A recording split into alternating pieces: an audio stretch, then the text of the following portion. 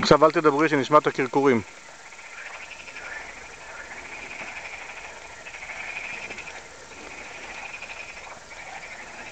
תסתכלי לפה.